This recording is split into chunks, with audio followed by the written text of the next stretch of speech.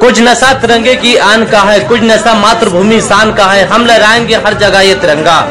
नशा ये हिंदुस्तान के सम्मान का है। इदरीस समाज सेवा ग्राम पंचायत मोहरबा। सभी देशवासियों को पंद्रह अगस्त दिवस व रक्षाबंधन की हार्दिक शुभकामनाएँ देते हुए।